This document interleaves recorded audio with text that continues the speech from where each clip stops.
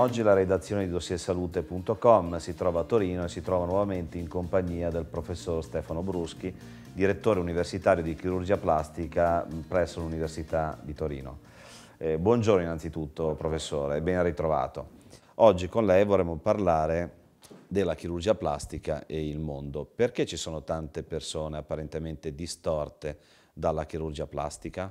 Semplicissimo, perché più delle volte chi si appresta a fare questa professione di chirurgo plastico ricostruttivo, ma specialmente estetico, deve avere veramente un insight su quello che è bello.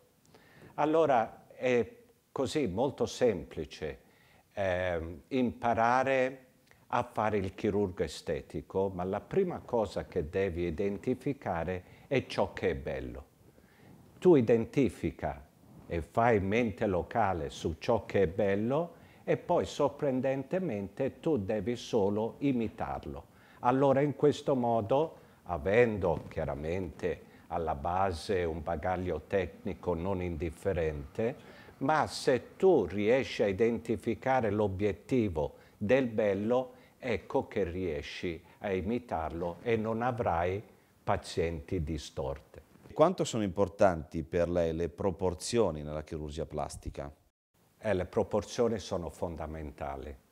Eh, quando uno deve intervenire non solo sul corpo, ma pensiamo alla faccia, pensiamo a qualcosa che rappresenta tutto l'essenza delle proporzioni, la rinoplastica, il naso.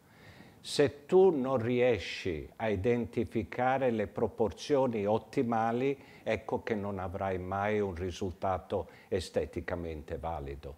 Per cui le proporzioni sono fondamentali. Uno deve ragionare in 3D.